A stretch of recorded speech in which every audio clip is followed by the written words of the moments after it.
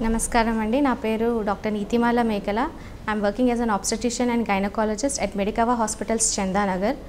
Today I'll be addressing regarding certain uh, most frequently asked questions about cervical cancers and HPV vaccinations. So first of all we need to know cervical cancers are the second most common cancers among Indian women and India attributes to around one-fourth of the global burden of cervical cancers.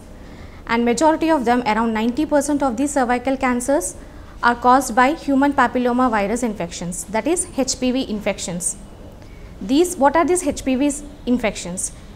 Human papilloma viruses these are one of the causative agents for sexually transmitted diseases and they are responsible for majority of the cancers because they have a cancer causing potential in them and they lead to or they are responsible for many cervical cancers, anogenital cancers like vulval cancers, vaginal cancers, penile cancers, anal cancers, oropharyngeal cancers and around 90% of the genital warts in both boys and girls are attributed by these human papilloma viruses. Cervical cancer has a long latency period. That is the period between the start of infection and the development of the disease would take around 10 to 20 years. And this, in this time span the patient may not show any signs and symptoms and in Indian settings majority of the Indian women do not seek a medical help or a gynec consultation unless and until they have signs and symptoms.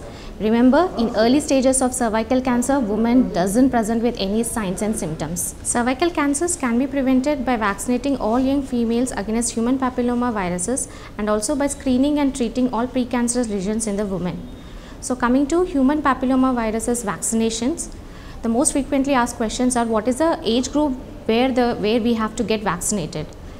Usually we can give vaccines from the age of 9 to 45 years but the most targeted population for the vaccination would be around 9 to 15 years of age. The dosing of uh, human papilloma viruses is like depends on the age of the population.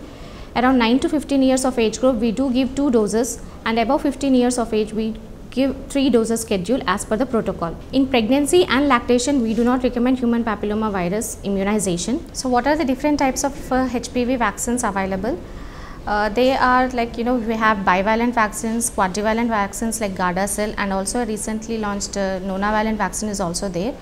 So the choice of the vaccine you can discuss with your gynecological expert and you can get advisors on that and you can choose one among those. According to the recent data published in the Lancet, through national HPV vaccination program in England, UK, there was around 80 to 90 percent risk reduction in the incidence of cervical cancer in their vaccinated population compared to the unvaccinated population. So it's never too late to start. Prevention is better than cure.